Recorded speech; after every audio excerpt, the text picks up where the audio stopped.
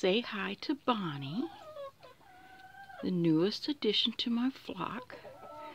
Not really sure how old she is. Not really sure it's a meat chicken.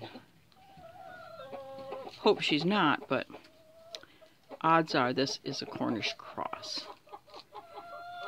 But we're going to give her her best life for as long as that may be. So, catch y'all later.